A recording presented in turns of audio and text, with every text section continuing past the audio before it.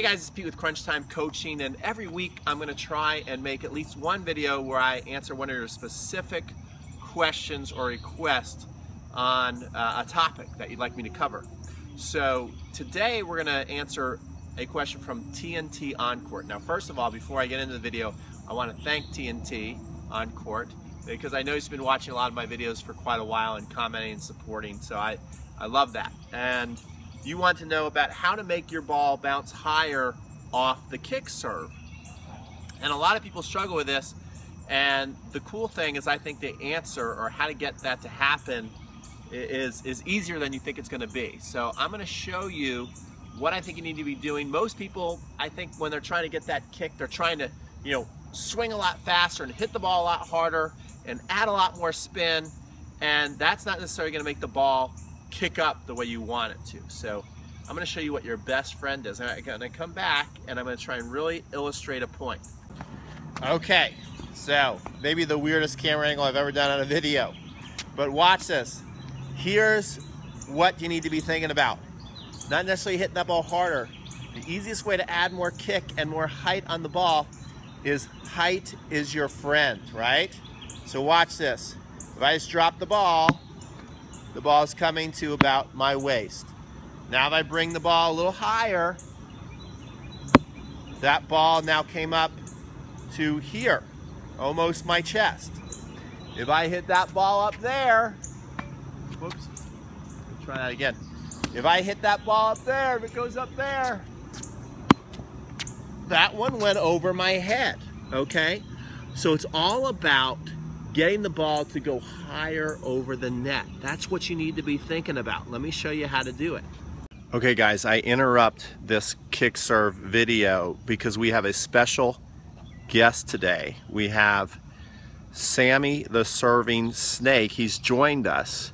Uh, so we, don't worry, we'll, we'll finish the thing. But Sammy, Sammy,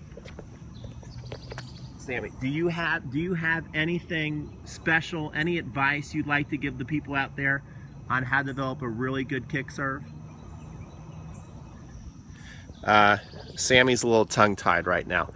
Anyway, we'll get back to the lesson. Okay guys, so first the basics. You know, when you're going to hit the kick serve, you're not looking to hit the ball directly in the middle, okay?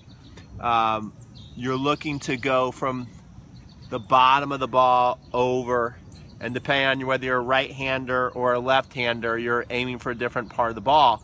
So me as a lefty, it's always, I'm looking at the inside part of the ball, trying to brush up on it. And I, I think if you've studied the game a little bit, a lot of you already know that, but we also know that's easier said than done. And I think that the biggest thing when people are trying to do that, they end up because they're trying to hit that kick serve and they end up covering the ball. So they're trying to make it kick, but they end up doing this and then the ball goes down into the net or it goes lower over the net and they don't get that, that real kick. The, the key is, is when you're hitting it, you wanna make sure that your racket doesn't turn over the ball too much and that when you're hitting it, it's still got room to extend. See, that's another thing too. If, you, are hitting it on the full extension, you're hitting the ball in the full extension, the ball again isn't going to go very high over the net. You, the ball goes up, you're actually going to let it drop a little lower than most uh, serves. Like if I'm going to go and really try and flatten the bot, it's going to go up, it's going to drop a little, just a very tiny hair, and then I'm going to then I'm going to go up and hit it, be fully extended. When I hit the kick serve, I'm going to let it go up, drop a little more, and then kick, and then my racket still extends up kick in the racket still extends up. And I think a, a really good thing, I, I'm doing double shot Tuesday, and so there's a video of, of this other student I have, Belle, who's, who's been struggling. She's hitting everything in the net. So first I had her on the ground, and, and just, you know, that's a typical one that a lot of people have done, you know, get both knees on the ground, trying to add some height. But then I thought, you know, her angle in her body, her shoulders are too even, a uh, lot of times lean like this.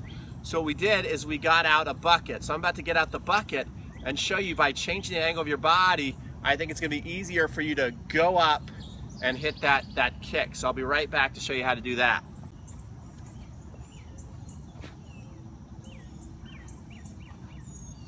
Okay, so I'm inside the court for a couple reasons. Number one is I'm hoping this will get our back camera where you can really see the height of the toss and the height of the ball better. And also number two, I think it's good to practice inside of the court so you're not worried about how strong you're hitting the ball.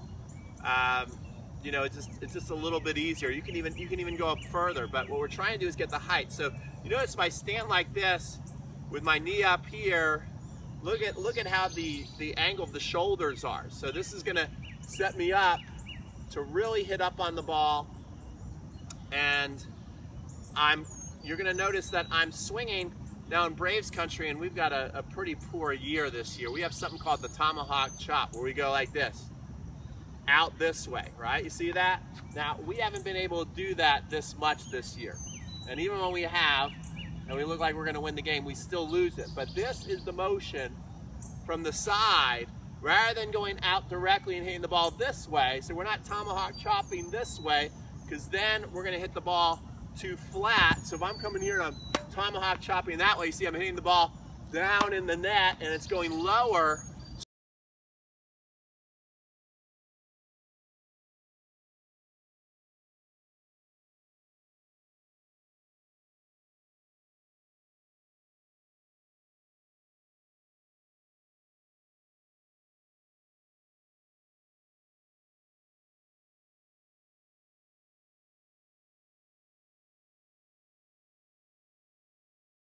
got to be going this way. I'm tomahawk chopping that way and look at the difference in the height and the higher, whoops, sorry, the higher I can hit that ball up over the net, I'm to get a big I'm to get a bigger bounce off the court. So let me really exaggerate one here. Coming here, getting low, up, over that. See, now that's to have a big, look at the bounce. Don't worry if it goes in or out. Just up, over. See, practice getting that height before you even worry if it's going to go in. See that? And so you can see just by doing that, we've added a lot